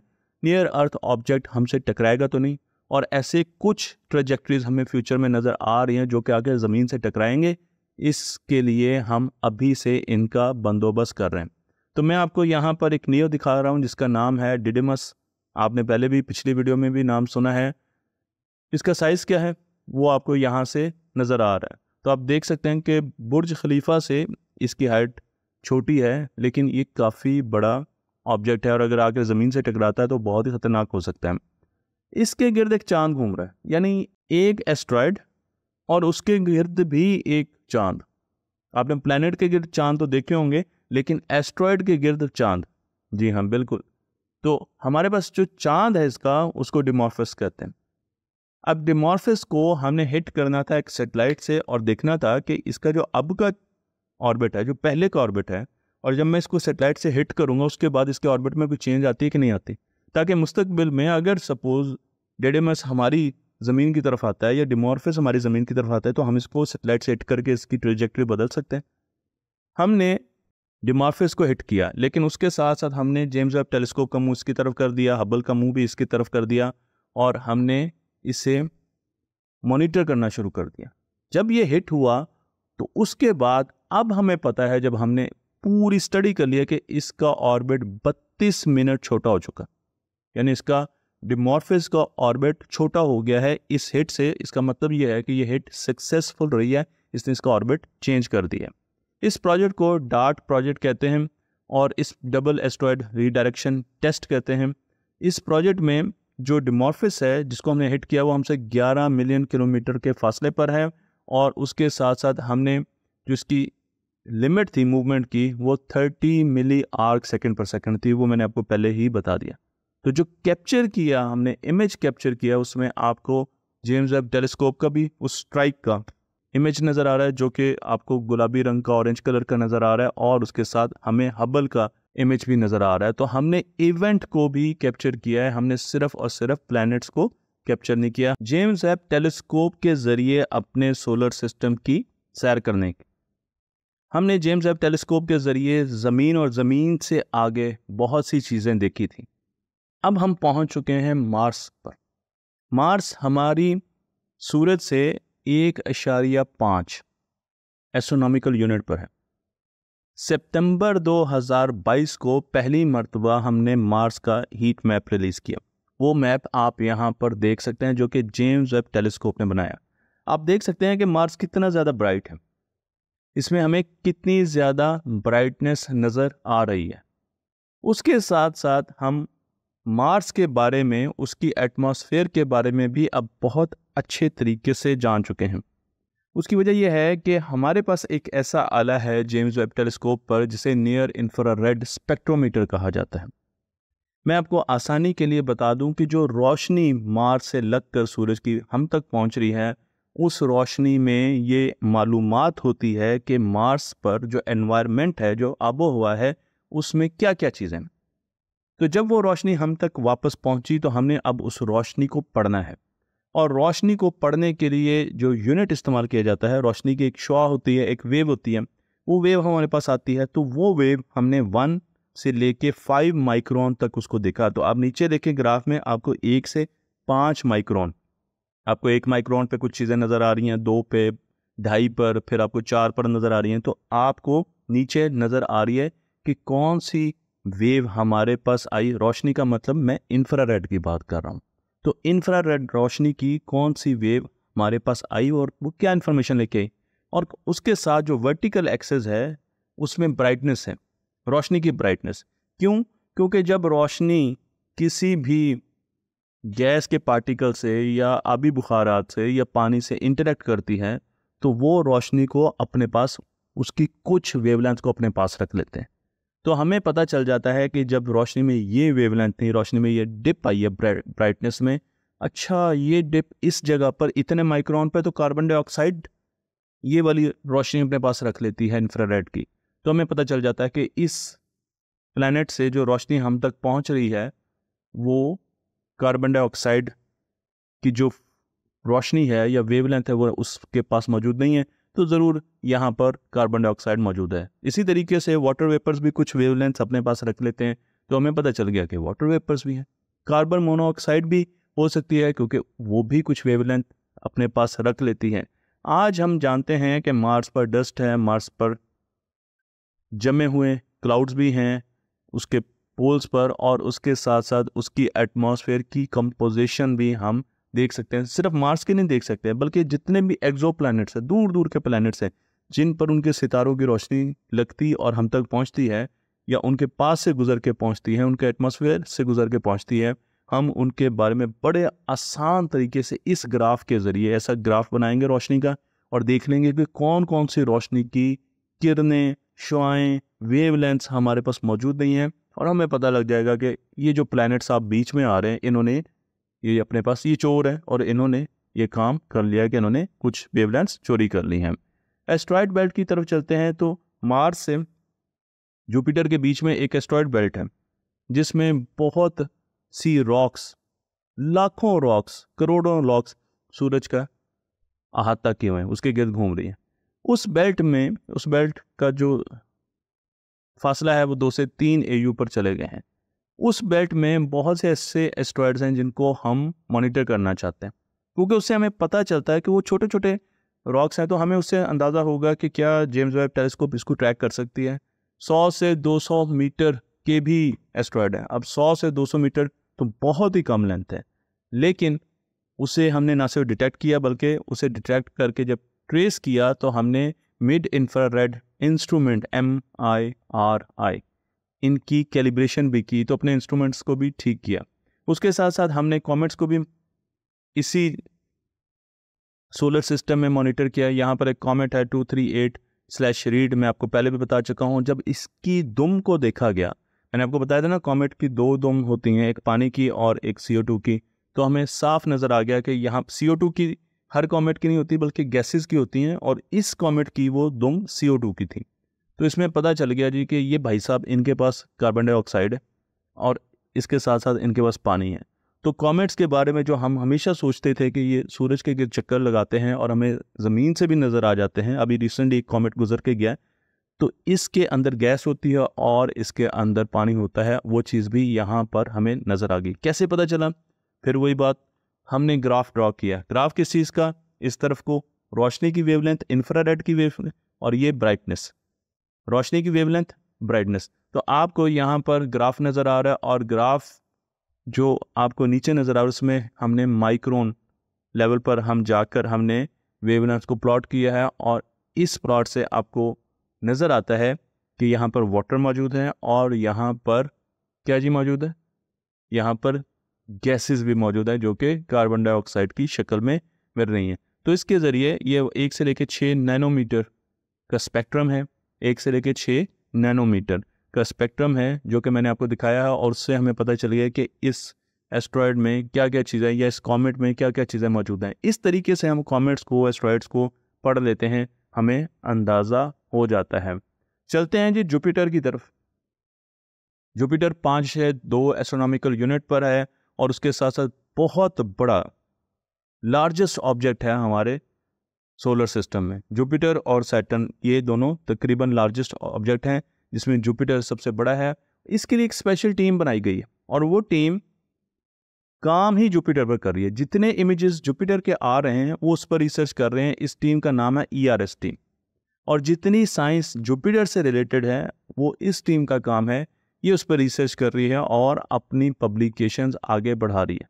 तो हमने जब जुपिटर को ख़ास रोशनी में देखा इंफ्रारेड की रोशनी में देखा तो हमने ना सिर्फ़ जुपिटर के क्लाउड्स देखे। हमें पता चला कि जुपिटर के क्लाउड्स हैं और वो किस कंपोजिशन के हैं, किस चीज़ से बने हुए हैं, वो भी हमने देखा। हमने उसकी हवाओं की विंड डायनामिक्स भी देखी, हमने टेम्परेचर भी देखा। हमें जो नॉर्थ और साउथ पोल पर रोशनियाँ नज़र आती हैं, जिसे अरोरा कहा जाता है तो अरोरल एक्टिविटी भी देखी जुपिटर की। और उसके साथ साथ उसके चाँद देखे, उसके गिर्द घूमते हुए, और रिंग्स भी देखे। अब आप हैरान होंगे जुपिटर के रिंग्स जी हाँ जुपिटर के रिंग्स भी होते हैं, लेकिन वो बहुत ज़्यादा मध्यम रिंग्स हैं, इसलिए हम अमूमन अपने सोलर सिस्टम की जितनी भी तस्वीरें उसमें उसे बनाते नहीं हैं। जुपिटर के मून की अगर बात करें तो यहाँ पर पहले मून की बात करें तो आयो मून है, जो कि वॉल्केनिक मून आतिश विषा यूरोपा आइस वर्ड है। यूरोपा पर ज़िंदगी भी ढूंढी जा रही है क्योंकि इसके ऊपर स्नो है, बर्फ़ है और नीचे पानी है, बहुत ठंडा पानी है और हमें लगता है कि शायद यहाँ पर हमें लाइफ मिल जाए। और फिर हमारे पास गैनामीड है। गैनामीड जुपिटर का सबसे बड़ा चाँद है और यहाँ पर आपको दिखाया भी जा रहा है।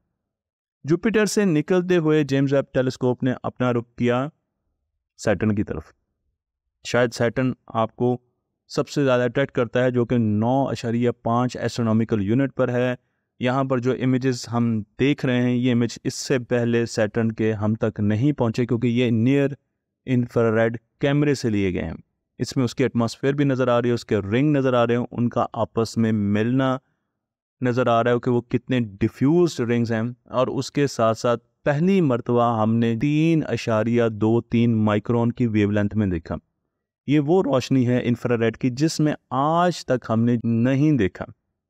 और उसके साथ साथ आप ये जो तस्वीर देख रहे हैं, ये जेम्स वेब टेलीस्कोप के बगैर खींची नहीं जा सकती थी। यहाँ पर ये बताना ज़रूरी है कि पोल पर हमें ब्लैकिश डार्क कलर के जगह नज़र आ रही हैं। इस पर अभी साइंसदान गौर कर रहे हैं कि ये क्या चीज़ है। हाँ जी, ये नहीं समझना कि ये किसी एलियन ने बनाया है, क्योंकि बहुत सी ऐसी वीडियोस आपको नज़र आएँगी जो कि ये बताएँगी कि जो पोल पर हेक्सागोनल तूफ़ान है, वो किसी सुपर चीज़ ने बनाए हैं। ये बिल्कुल गलत है और इस पर मैं एक वीडियो बनाना चाह रहा हूँ ताकि ये चीज़ कॉन्सेप्ट साबित कर दिया जाए कि ये एक साइंटिफिक फिनोमिना है। फिर हम चलते हैं मून्स पर तो टाइटन मून बहुत बड़ा मून है, इसकी अपनी एटमॉस्फेयर है। मैंने आपको पहले भी इसकी तस्वीर दिखाई थी, इसमें लेक्स हैं, इसमें क्लाउड्स हैं, इसमें रिवर्स हैं। और वो किसके बने हुए हैं? मीथेन के। जी हाँ पानी के नहीं मीथेन के। अगर आप नियर इंफ्रारेड कैमरे की तस्वीर देखें तो आपको यहाँ पर मीथेन के समंदर भी नज़र आएँगे। जी हाँ जो घरों में गैस आती है, उसको अगर कंडेंस फॉर्म में कर लिया जाए तो वो लिक्विड फॉर्म में भी आ सकती है तो मीथेन के आपको समंदर नज़र आएँगे और इसकी जो अहम बात वो ये कि इसके जो बादल है ना, वो हर तीस मिनट के बाद अपनी शक्ल बदल लेते हैं। तो इसके बादल हर तीस मिनट के बाद अपनी शक्ल बदल लेते हैं और कहने वाले तो ये भी कहते हैं कि यहाँ पर एलियंस है। बिल्कुल नहीं, ये मैं आपको वैसे ही बता रहा हूँ। कभी आपने इस बात पे यकीन नहीं करना कि बादल की शक्ल बदलने का कोई ताल्लुक एलियन से है, ये एक साइंटिफिक फिनोमिना है। अगर हम इंसेलिडिस की बात करें तो इंसेलिडिस भी यूरोपा की तरह एक मून है। ये मून सैटन के पास सैटन का जो मून है, उसके ऊपर बर्फ़ ही बर्फ़ है। लेकिन नीचे, बर्फ़ के नीचे पानी मौजूद है। इसलिए हमें शक है कि यहाँ पर हमें ज़िंदगी मिल सकती है, क्योंकि जहाँ पानी है, वहाँ पर ज़िंदगी के होने के आसार बहुत ज़्यादा बढ़ जाते हैं। तो क्या यहाँ पर पानी है? पानी तो है, यहाँ पर ज़िंदगी है।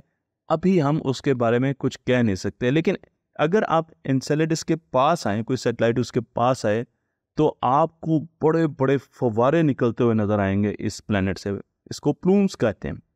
जो कि इससे 40 गुना बड़े होते हैं। यानी अगर वो नीचे जितना जा रहे हैं, अगर आप दूर से देखें तो आपको नज़र आएगा कि वो इस पूरे प्लानट इस पूरे मून से 40 गुना बड़े साइज़ के होते हैं और वो हमने इंटीग्रल फ़ील्ड स्पेक्ट्रोस्कोपी से उनका मायना किया। तो मैं आपको यहाँ पर उनकी तस्वीर भी दिखा रहा हूँ और ये जो पानी के बुखारात हैं, ये एक डोनट बनाते हैं सैटन के गिर्द। बिल्कुल। तो जो सैटन के रिंग्स होते हैं वो तो अपनी जगह हैं, लेकिन ये जो मून है, ये जहाँ जहाँ घूम रहा है, ये भी अपने निशाना छोड़ता जा रहा है, ये भी वाटर वेपर्स का एक डोनट बना रहा है।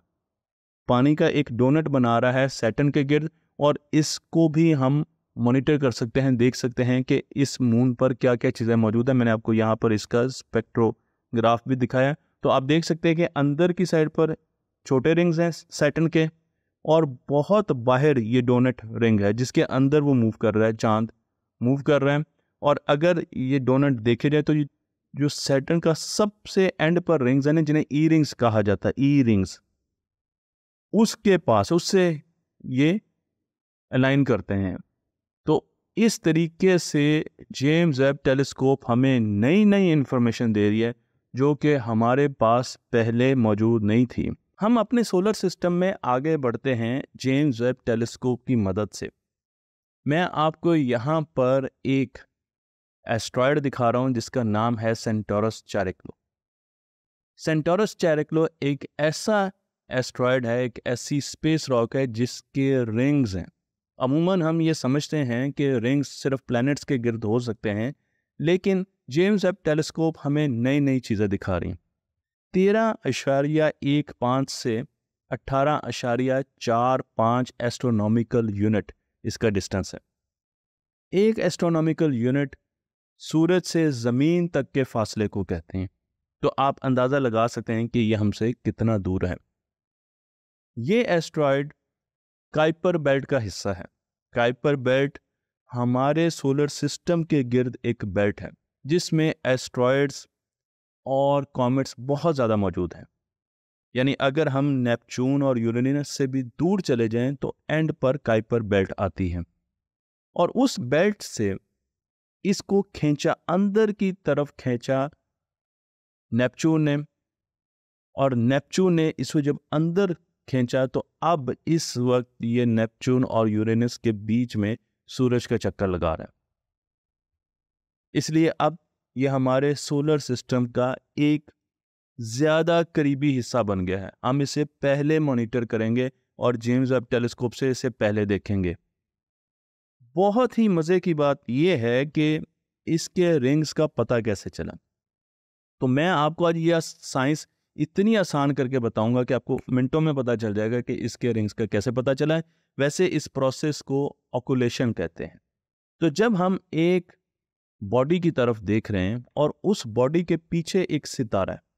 तो फ़र्ज़ कीजिए कि ये बॉडी है, मेरा हाथ एक बॉडी है और उसके पीछे एक सितारा है, जो कि आहिस्ता आहिस्ता इस तरीके से मूव होता हुआ नज़र आ रहा है। दोनों एक दूसरे के रिलेटिव मूव कर रहे हैं तो आपको कोई एक मूव करता हुआ नज़र आएगा। तो मैं आपको यहाँ पर जो तस्वीर दिखा रहा हूँ, उसमें वो सितारा, छोटा सा सितारा, जो बहुत दूर है, वो मूव करता हुआ नज़र आ रहा है। लेकिन उसे क्या करना चाहिए? अगर वो सितारा इस एस्ट्रॉयड के पीछे से गुजरता तो वो एक मरतबा गायब होता थोड़ी देर के लिए और फिर निकल आ जा, निकल आता। तो हमें पता चल जाता है कि वो इस एस्ट्रॉयड के पीछे छुपा हुआ है। लेकिन ये सितारा इस एस्ट्रॉयड के पीछे से नहीं गुजरा, बल्कि ये थोड़ा सा इसके ऊपर से गुजरा। लेकिन जब ये सितारा इस सितारे इस एस्ट्रॉयड के पास आ रहा था तो थोड़ी देर के लिए इसने आँख झपकी यानी ये गायब हुआ। अब साइंसदान हैरान रह गए कि क्यों इसने आँख झपकी आप देखिए इसकी लाइट में भी डिप आई है ब्राइटनेस में। यहाँ पर तो एस्ट्रॉयड है ही नहीं और उसके बाद वो एस्ट्रॉयड के ऊपर से साइड से गुजरता गुजरता फिर उसने एक मरतबा आँख झपकी दो मरतबा उसने ब्लिंक किया और फिर हमें अंदाज़ा हुआ कि दो मरतबा ब्लिंक करने का मतलब यह है कि इसके गिर्द भी कुछ चीज़ें रिवॉल्व कर रही हैं, यानी इसके रिंग्स हैं। मैं आपको यहाँ पर ब्राइटनेस वर्सेस टाइम ग्राफ दिखा रहा हूँ तो आप देखें कि ब्राइटनेस में दो मरतबा डिप आई है, यानी इसने आँख जब की इससे हमें अंदाज़ा हुआ और उसके बाद हमने हबल टेलीस्कोप से भी इसे देखा और बहुत सी स्टडीज़ की और हमें पहले भी पता था कि इसके रिंग्स हैं। लेकिन जेम्स वेब टेलीस्कोप ने उन थेरीज को साबित कर दिया।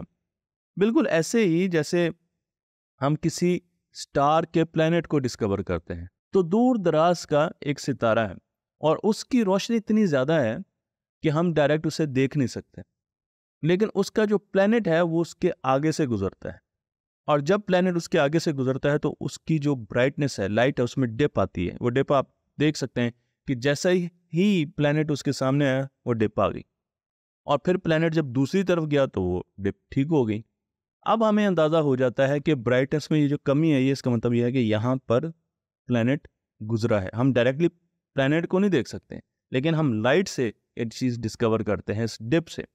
फिर इस डिप में और भी इंफॉर्मेशन मौजूद होती है। अगर मैं लाइट को तोड़ दूँ उसके रंगों में, यानी उसकी स्पेक्ट्रोस्कोपी करूँ, उसके रंगों में तोड़कर देखूँ कि कौन कौन से रंग अब मौजूद नहीं है तो मुझे पता चल जाएगा कि इस सियारे की, इस प्लेनेट की एटमॉस्फेयर में कौन कौन सी गैसेज हैं। क्योंकि उन गैसेज ने उन रंगों को अपने पास कैदी रख लिया, चुरा लिया। और वो रंग हम तक रोशनी के नहीं पहुँचे। तो हमें अंदाज़ा हो जाएगा कि जो प्लेनेट मूव किया है, उसके अंदर एटमॉस्फेयर की कंपोजिशन क्या है। बिल्कुल इसी तरीके से हमने रोशनी जो आ रही थी, उस रोशनी को तोड़ा, उसके रंगों में उसकी स्पेक्ट्रोस्कोपी की, उसका स्पेक्ट्रम देखा और जब सेंटोरस चारिकलो का स्पेक्ट्रम देखा गया तो हमें अंदाज़ा हो गया कि यहाँ पर क्रिस्टलाइन वाटर और आइस मौजूद है। तो इसका मतलब ये है कि यहाँ पर पानी तो है ही है, लेकिन उसके साथ पानी क्योंकि बहुत दूर है, ठंडी जगह है, आइस की फॉर्म में भी मौजूद है और वो आपको इसके स्पेक्ट्रम में भी नज़र आ रहा है तो हमें अंदाज़ा हो गया। चलते हैं यूरेनस की तरफ़, जो कि अब 20 एस्ट्रोनॉमिकल यूनिट के फासले पर है। यूरेनस की मैं दो तस्वीर आपको दिखा रहा हूँ, उन्नीस सौ छियासी में ये बिल्कुल एक गेंद की तरह था, लेकिन आज आप देखें कि टेक्नोलॉजी की मदद से हम कितना डीपली से देख सकते हैं। हमें ये भी अंदाज़ा हो चुका है कि इसके रिंग्स होते हैं। पहले तो हमें अंदाज़ा नहीं था कि इसके रिंग्स होते हैं, लेकिन हमें अंदाज़ा हो गया कि इसके रिंग्स हैं। उसके साथ साथ इसकी सरफेस पे हमें क्लाउड्स भी मिल रहे हैं। हमें नज़र आ रहा है कि क्लाउड्स मौजूद हैं। यूरेनस में एक ख़ास बात यह है कि ये बाकी प्लैनेट्स के मुकाबले में और तरीके की टिल्ट रखता है। हमारे जितने भी प्लैनेट्स हैं, वो बिल्कुल सीधे नहीं हैं। यानी वो बिल्कुल इस तरीके से नहीं है। वो टेढ़े हैं, इस तरीके से या इस तरीके से? जिस तरीके से ये एक साहब हैं जो सोच रहे हैं, ये बिल्कुल सीधे हैं, लेकिन अगर मैं इनको ऐसे कर दूँ तो ये टिल्ट है। और अगर ये इस तरह घूमने शुरू हो जाएँ तो इसी तरीके से हमारे प्लैनेट्स घूम रहे हैं। कुछ में ये टिल्ट ज़्यादा है, कुछ में कम है, कुछ में इस तरफ़ है, कुछ में इस तरफ़ है। लेकिन अगर हम बात करें यूरेनस की तो यूरेनस साहब जो है ना, वो बिल्कुल ऐसे हैं और वो इस तरीके से घूम रहे हैं। यानी उनकी टिल्ट इतनी ज़्यादा है कि वो ऑलमोस्ट टेढ़े हुए हुए हैं। ये टिल्ट क्यों है? उसकी बहुत सी थेरीज हैं और उसमें एक थेरी ये भी है कि शायद इससे कोई डॉर्फ प्लानट या कोई बहुत बड़ा एस्ट्रॉयड आके टकराया, कोई भी बॉडी सेलेस्टियल बॉडी आके टकराई और उसने टिल्ट काफ़ी चेंज कर दी। लेकिन अब हम इस टिल्ट को भी स्टडी कर रहे हैं। मैं आपको ये भी बताता चलूँ कि जो तस्वीर आपको दिखा रहा हूँ मैं, इसमें सिर्फ़ और सिर्फ़ 430 सेकंड लगे हमें यूरेनस की ये तस्वीर लेने इस तस्वीर की two composite colour image processing की गई है। ये एक टेक्निकल वर्ड है, जो कि बोलना बहुत ज़रूरी है। इसमें आपको रिंग्स नज़र आ रहे हैं, इसके मून्स नज़र आ रहे हैं और आपको इसके क्लाउड्स भी नज़र आ रहे हैं। ये भी बताता चलूँ कि इस तस्वीर के ज़रिए हम ना सिर्फ़ इसके एटमॉस्फेयर पढ़ रहे हैं विंड डायरेक्शन भी देख रहे हैं। इसके तूफ़ानों को भी देख देख रहे हैं, इसके पोलर रीजन्स को भी देख रहे हैं कि आखिर वहाँ पर क्या चीज़ें मौजूद हैं, इसके रिंग्स को भी देख रहे हैं। और मून्स तो हमारे पास हैं ही हैं तो हम पूरा एक स्टडी बना रहे हैं और उस स्टडी में ना सिर्फ़ हम विजिबल लाइट यानी हबल टेलीस्कोप से मदद ले रहे हैं, लेकिन साथ साथ हम जेम्स वेब टेलीस्कोप के ज़रिए इंफ्रारेड में मुख्तलिफ़ स्पेक्ट्रम्स में तस्वीरें ले रहे हैं। मसलन ये तस्वीर आपको मुख्तलिफ़ लगेगी क्योंकि ये तस्वीर मिड इंफ्रारेड में, ये इंफ्रारेड की शुरू की स्पेक्ट्रम की तस्वीर नहीं है, वो मैंने आपको पहले दिखा दी ये मिड इंफ्रारेड स्पेक्ट्रम की तस्वीर है जो कि मेरे ने ली है और इसमें हमें एक एक पिक्सल की स्पेक्ट्रोस्कोपी करनी पड़ेगी, यानी उसकी रोशनी को देखना पड़ेगा, उसको रोशनी के रंगों में तकसीम करना पड़ेगा और फिर देखना पड़ेगा कि कौन सी वेवलेंथ में जब मैं सात रंगों की बात करता हूँ तो वो विजिबल लाइट की बात होती है। लेकिन अगर इंफ्रारेड की बात करें तो उसमें तो सात रंग नहीं होंगे। तो एक्चुअली जो ज़्यादा अच्छा तरीका वो ये है कि मैं ये कहूँ कि इसकी वेवलेंथ में इसको तोड़ा जाता है। क्योंकि अगर आप विजिबल लाइट की बात करें तो वहाँ पर भी वेवलेंथ्स होती हैं जो कि मुख्तलिफ़ रंगों में अपेयर हो रही होती है। तो वेवलेंथ ज़्यादा बेहतर तरीका है अदरवाइज़ आप कन्फ्यूज़ होंगे कि इंफ्रारेड के कौन से रंग होते हैं।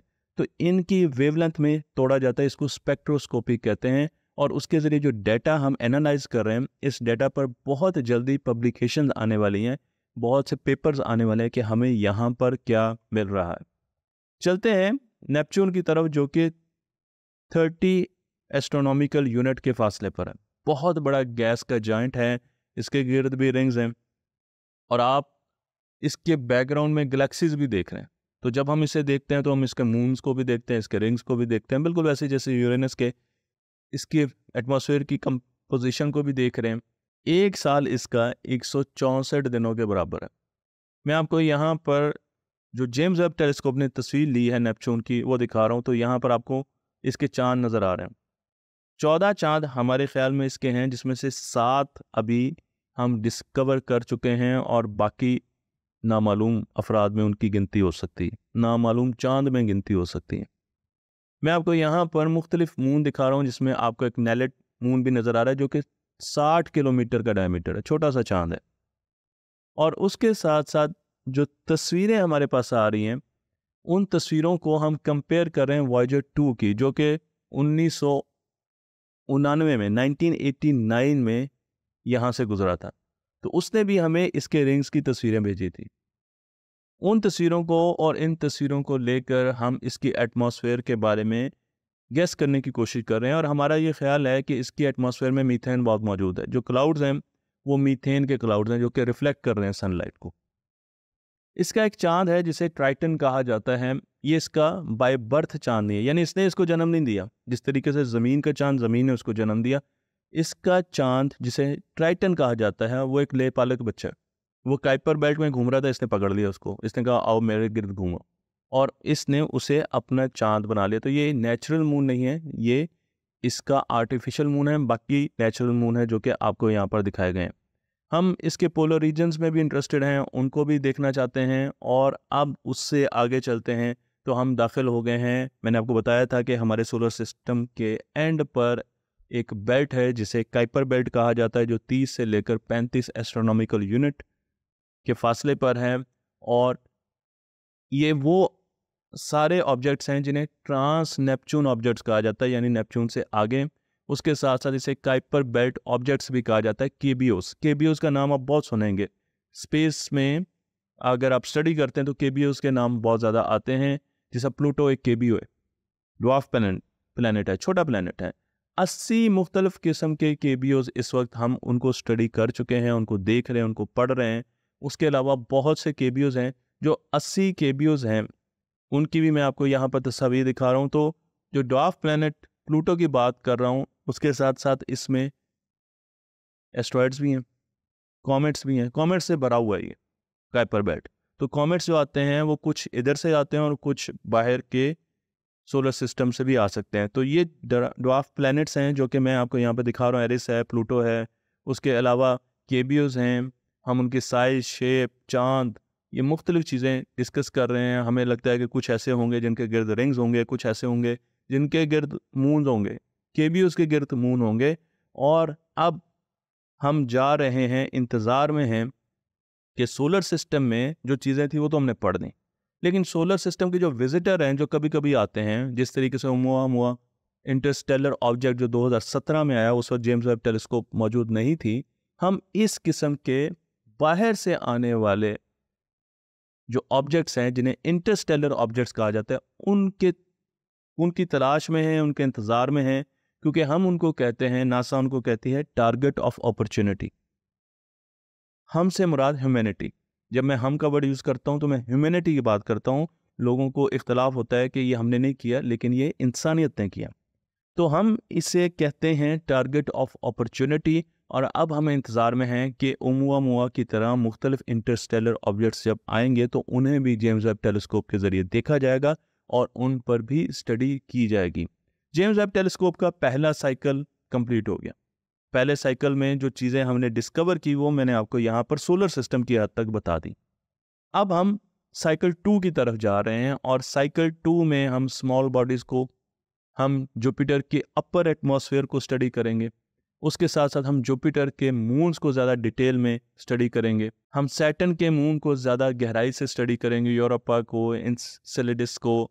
उसके साथ यूरेनस का N I R near infrared map बनाना है। तो ये कुछ ऐसे ऑब्जेक्टिव्स हैं जो हमने साइकिल टू के लिए रखे हैं और जो जो इनमें काम होगा, तख्ती ऑनलाइन आपको इतला देती रहेगी। तो हमारा ये सेगमेंट यहाँ पर कंप्लीट होता है, जिसमें हमने पहले साल में जेम्स वेब टेलीस्कोप ने सोलर सिस्टम में क्या देखा, क्या डिस्कवरीज की, वो चीज़ें आपको बसानी आसान अल्फाज में बताई हैं। मुझे उम्मीद है कि ये सीरीज़ आपको पसंद आई होगी। आप हमारे यूट्यूब चैनल पर जाएँगे, हमारी हौसला अफजाई करेंगे और उसे पसंद करेंगे लाइक करेंगे फॉलो करेंगे। इस इल्म को दूसरों तक पहुंचाते रहिए।